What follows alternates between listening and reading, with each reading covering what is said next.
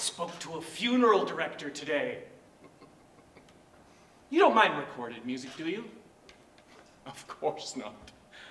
I, I don't mean this in a cruel way, but practically speaking, you're the only one who won't have to listen to it. I took the liberty of choosing something for you. Don't worry, it's quite sad. I'm sorry, it's just the thought of how moved I'll be when I hear it. Oh dear. I had a lovely idea about the ashes, by the way. I thought I might mix you in with some soil and plant an amaryllis. Would you like that?